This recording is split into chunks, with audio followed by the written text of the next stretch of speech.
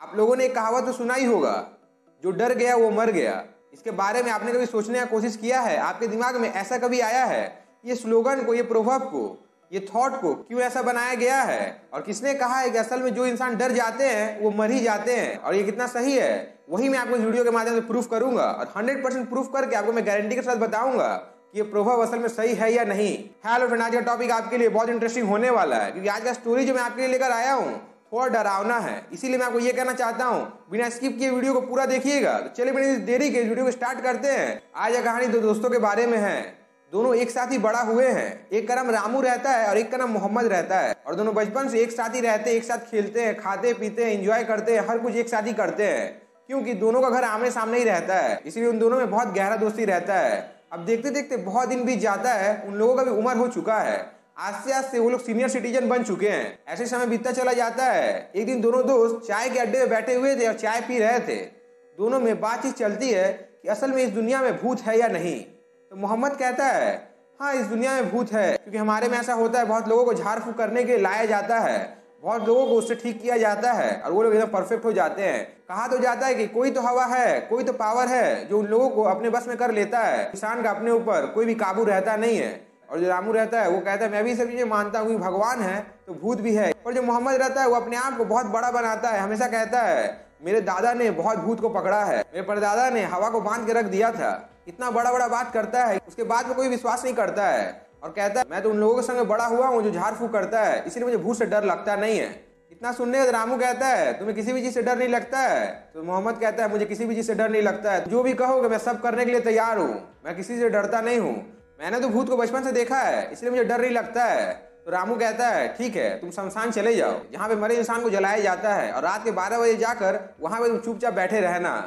पर एक बात याद रखना, पीछे से अगर कोई भी आवाज़ आए तो होशियारी करने की ज़रूरत नहीं है। चुपचाप तुम जैसे बैठे रहोगे, वैसे ही बैठे रहना। पीछे घूम के देखना मत, वरना वो तुम्हें अपने साथ में लेकर चला जाएगा। मोहम्मद कहता है, किसके पास में इतना दम है जो मुझे हाथ लगाए?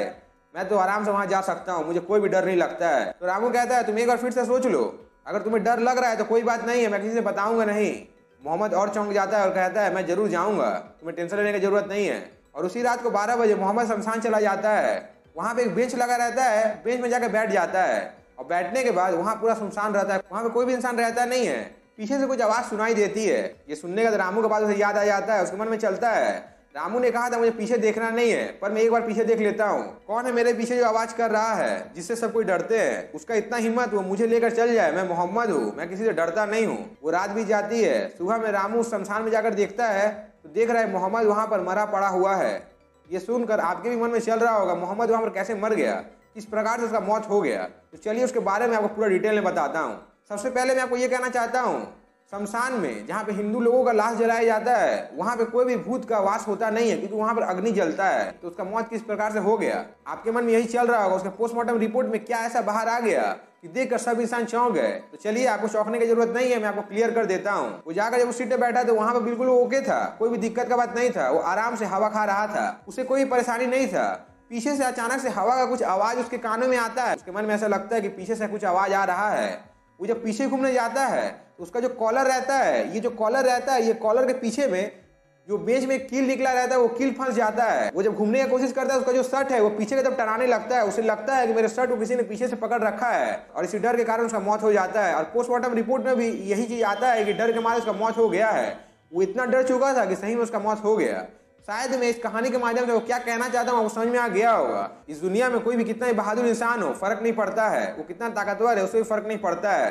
फ़र्क तो इससे पड़ता है कि उसके अंदर में क्या डर है या नहीं। और हर इंसान के अंदर में डर होता है। इसीलिए मैं आपको ये कहना चाहता हूँ, अगर आपने डर पे काबू नहीं किए तो डर एक दिन आपको ले बीतेगा। और असल में जो प्रभाव है कि जो डर गया, सो मर गया।